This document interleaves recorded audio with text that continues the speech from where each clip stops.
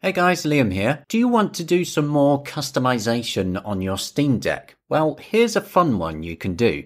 You can actually change the boot animation of the Steam Deck to whatever you want. It requires a really small amount of tinkering and ensuring that your selected video is in the right file format, but it's pretty straightforward to do. Now, I'm going to show you the manual process because while there are a few scripts floating around that can do it for you, nothing beats the process of learning to do it directly, and scripts can end up being outdated or they can be edited with malicious intent and so on. So I don't particularly want to point you guys anywhere specific on that. I will give a big shout out to Reddit user Derpin Herps for their instructions which I used to make this. So first, you do need a video file in the WebM format. If you don't know how to convert a video file, there are a lot of websites that can do it, like cloudconvert.com. Anyway, let's begin. First of all, you need to open your file manager and you need to unhide all the folders with the dot at the start.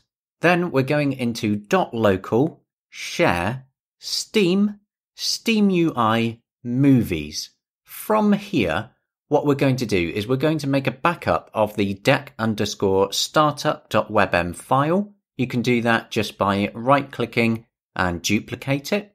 The next thing that you want to do is get the correct file size of it. So we can right click, go to properties, and it's the bigger size in the brackets, the 1840847. So make a note of that. Now for whatever video file you're using, we can just copy it over with the same name, deck underscore startup.webm.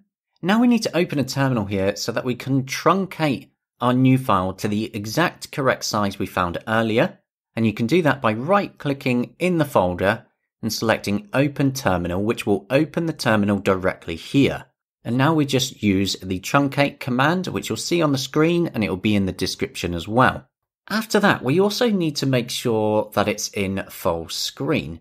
So go back to the Steam UI folder and then into CSS.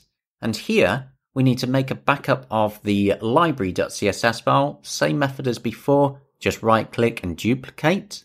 Now we need to check the file size on this one as it changes between Steam Deck updates and it depends on if you're in stable or beta and it can change at any time.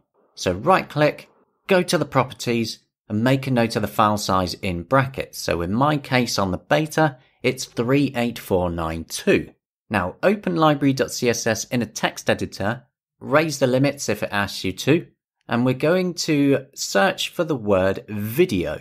When we found that, we're just going to edit the next little bit to say flex grow 1 and set width and height both to 100% just to make it all fit properly. Save it and close it and now we need to open a terminal in here as well. Again, right click, open terminal.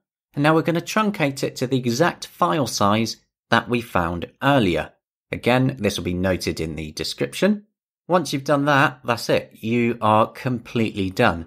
Now you can just reboot your Steam Deck and watch as the new boot animation comes in.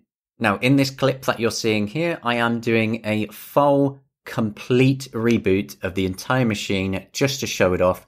So it does take a minute or two to fully load up and then actually show my video, which will be obvious because of the name Gaming on Linux. Now, for those of you who don't wish to do this manually, there will be a few links in the description to a couple of places I found that are doing the scripts for it, but I thought I would just show you exactly how to do it yourself. So I hope you found that useful. Let me know what you think in the comments, and I will catch you all next time.